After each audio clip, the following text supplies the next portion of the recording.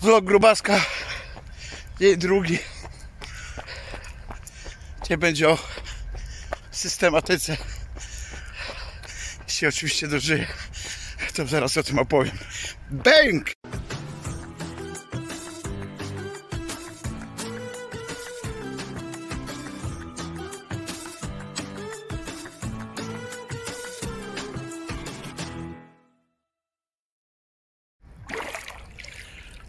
No to hej kochane ludziska.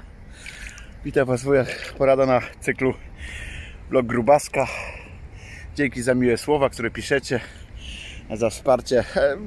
Fajne. Za inne też oczywiście, tak jak zawsze. Dobra, dzisiaj chciałem powiedzieć, e, tak jak mówiłem przed czołóweczką, o tej systematyce. A tak naprawdę, no żeby coś się stało systematyczne, no to trzeba coś zrobić regularnie. No żadnej wuja, co ty gadasz, to przecież wszyscy wiedzą. Okej. E, Wiecie, że pracuję na systemie racjonalnej terapii zachowań.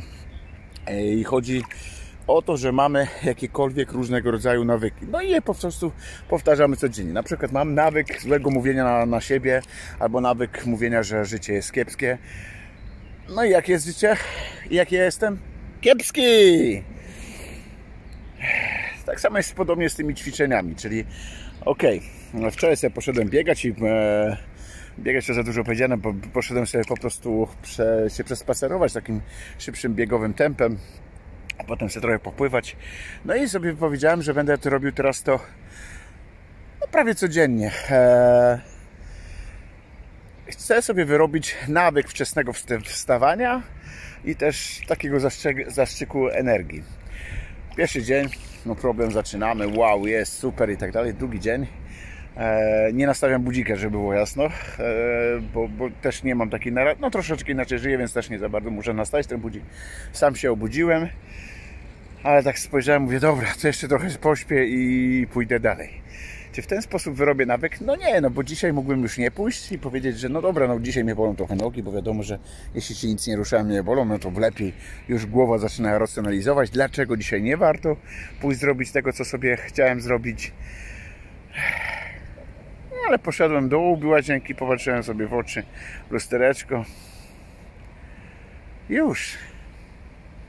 A, w ogóle, dobra, no bo wiecie, ten projekt nazywa się też e, Vlog Grubaska, tam jest 40 kg w dwa miesiące, e, 2.0.